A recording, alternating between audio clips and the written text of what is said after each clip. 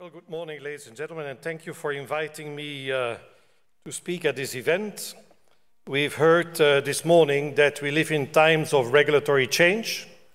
And uh, as a former regulator, I can assure you that regulation in insurance and pensions is particularly complex because it is highly political, because the impact it has on society.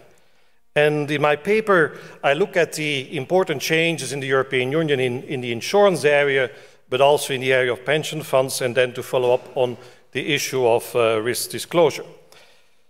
We have in the European Union started with a reform, and the question is why do we need this reform? Well, because the last reform took place 30 years ago, which may not be a valid argument, but the world has changed, unfortunately, since then. There was a need for a regulatory update already sensed in the beginning of the century with the capital market crisis and the overextended investment by insurance undertakings in equity, uh, which led to, to major losses uh, at that time. Also, very remarkably, is the fact that the insurance sector is the only major economic sector that still does not have an international accounting standard, nor does it have an international solvency standard. And as we heard from Olivia this morning, uh, even today it's being questioned whether we, we do need that, and particularly in the US, this is highly controversial. And after the last financial crisis, of course, we saw in Europe that reforms are really needed. Now, is there a problem? Well, the problem with the present solvency regime in Europe, which is not exactly RBC as you have it in the United States, the present regime Solvency I is not sufficiently risk sensitive. And that means that it does not give an incentive to management to apply good risk management, which appears rather strange in insurance. Also, what we found out in Europe is that unless you change the regulatory framework, the behavior of the insurance industry is not going to change. We also have today a fear in the regulatory community that unless we update the regulatory framework for insurance, a lot of the business that was traditionally conducted by the banking sector is going to move to insurance because it is less regulated. And therefore, it's important to have a level playing field. And of course, we have a lack of comparability, both within the European Union and internationally. Is there, that is the Solvency II picture very briefly described, as you see, is a three-pillar approach of Basel II, with the quantitative pillar one, the qualitative pillar two, and the disclosure pillar three. In the European Union, of course, a lot of talk about capital requirements. We introduce a solvency capital requirement, a minimum capital requirement. There's a lot of talk about governance and risk management, the improvement of that. But particularly important in the European insurance industry is the increased transparency that will follow from Solvency II. It will be the first time in European history that we will be able to compare insurance undertakings in fairly detailed amounts. And that is quite a reform which is, uh, which is, um, uh, which is important uh, to carry out. What are the main characteristics of Solvency II? Very briefly, market consistent valuation of assets and liabilities. And I know there was a very controversial issue when we started the project. Nobody questioned that. Everybody said that is the way to go. How can you deal with insurance liabilities if you don't mark them to market in the way you, you mark to market the asset side? Otherwise, you get imbalances between the two sides of your balance sheet. We apply a total balance sheet approach. We look at all the risks on both the assets and liability side. We have a confidence level of 99.5% for the solvency capital requirement, which is not a total, you know, a total guarantee. It means it is not a no failure system. We have the possibility to apply, to use the, uh, an internal model to calculate the solvency capital requirement. Very interesting, in the beginning, insurance undertakings came to see the regulators and said, oh, fantastic, we apply our internal models. And then we looked at the models and we saw that they were not as sophisticated as some of the companies thought they were. Uh, Three-pillar approach, extended, fully harmonized uh, powers for the supervisors, very important, and then group supervision, which in Europe is felt to be now to be at equal level as solo supervision, and that was not the case in the past. Where are we now in Solvency II? Very briefly, the process will start on the 1st of January 2016. It was a process in stages. The first stage was adopted, then came the financial crisis. We had to take a new look at it, and particularly one of the most difficult issues was the valuation of long-term liabilities. which is very complex, particularly as we felt in the beginning that we needed to apply a risk-free rate. And what was the risk-free rate? At that time, it was the government bond rate. And Europe discovered very soon that even governments are not risk-free anymore. So there is not something anymore like the risk-free rate, so we have to find solutions on how to calculate that, and that took a long time, but it has finally been approved. We have now also work going on at the level of, of, of EIOPA, and finally, everything should be in place by June of this year. Let's move on to pension funds. Pension funds has been always a tricky issue in the European Union because the um, member states of the European Union have the responsibility to design their pension regime. It's not for Europe to decide how the different pillars should be dealt with in each country of the European Union. That is a matter which belongs to the member states. And so the uh, adoption of the first pension fund directive in 2003 was already highly controversial. The objective of that directive was mainly to open up the market to make it possible for a pension fund in country A to run a pension plan by a company based in a country B. That was not possible. What we also wanted to do at that time is to liberate investment policies. At that time, most investment uh, pension funds invested only in government bonds of their own country, of course, and governments love that. So uh, we wanted to change that system also to uh, have more freedom, have more efficient system in the market.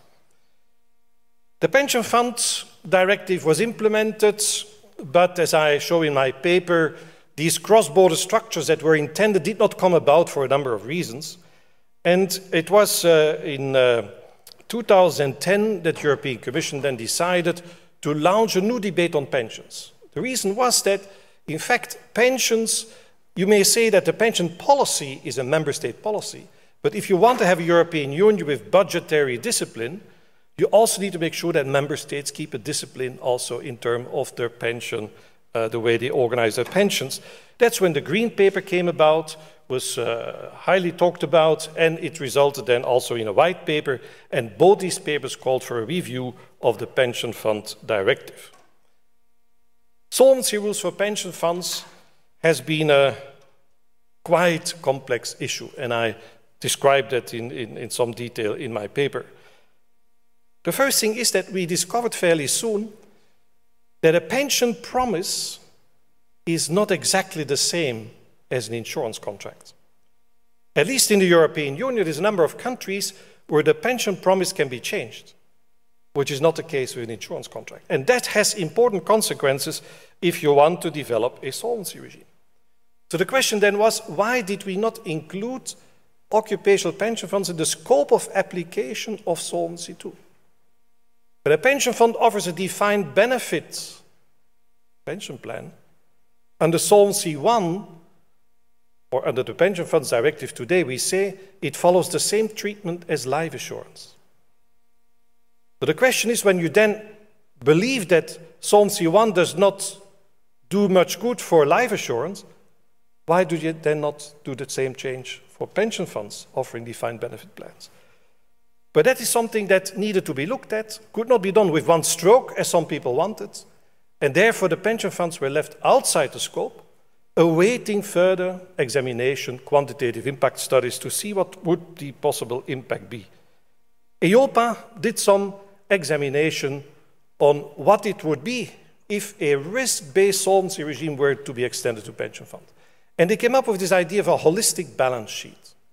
And the holistic balance sheet is a balance sheet that is drawn up for the purpose of the solvency regime and which will include in the balance sheet the various mechanisms which we have in member states in the European Union, which could um, have uh, an additional type of security, for instance, a, a, a, guarantee fund, a pension guarantee fund, or you could have a, a sponsor covenant whereby the sponsor will pay for um, possible gaps in, in the funding, or in the balance sheet, you could also include the benefit adjustment mechanisms, such as we have, for instance, in the Netherlands, where it is possible to reduce pension benefits. Well, that reduction can be included in the balance sheet. You need to estimate to value what that means in terms of the liability. So EIOPA carried then out a first quantitative impact study which showed important gaps. It showed that if you apply the discipline to the pension fund structures in the various member states, in some member states there would be gaps. Classical example would be Ireland, which is the country with the most pension funds in the European Union. But in Ireland, there is a sponsor covenant, but the employer has no legal obligation to do it. So in that case, of course, if your pension fund has a funding gap and there is no legal obligation, that is a problem. European employer and employee organizations vividly opposed any change in the solvency rules. And they did for different reasons. On the employer side, basically, it was argued if we change the system, it's going to cost us more money. And on the employee side, people said, it's not my problem, it's a problem of the employer. He made a promise, so he must be able to pay for it. So therefore, a lot of opposition did exist. And then when the Commission came out of its proposal to amend the Pension Fund Directive in 2014, last year, we saw that the Commission proposed governance improvements, risk management improvements, and transparency. Very important on the risk management side is the introduction for pension funds of a requirement to apply a risk evaluation, which is similar to the own risk and solvency assessment for insurance undertakings. In terms of transparency and risk disclosure, where are we here? On the pension fund side, we need to recognize that in terms of public disclosure, a pension fund is different from an insurance undertaking. The disclosure that we talk about here is a disclosure, of course, to the supervisors, but also to the members of the pension funds. And because we now have in Europe a clear move away from defined benefit to defined contribution, it means that for the, D, the members of the pension fund with a DC pension plan, it's very important that they know what risks they are exposed to. They need to, to know, first of all, they are at risk. And that is something which the new directive, the new proposal from the Commission, will take care of through uh, the introduction of what we call a pension benefit statement, which in detail describes two pages, not more than two pages, what the risk situation is for the individual member of a, de uh, of a uh, defined contribution uh, pension plan. The problem is that their logic was not extended to defined benefit plans. It is important when a member of a pension fund that benefits from a defined benefit plan that that member knows how likely it is that the pension fund will actually deliver.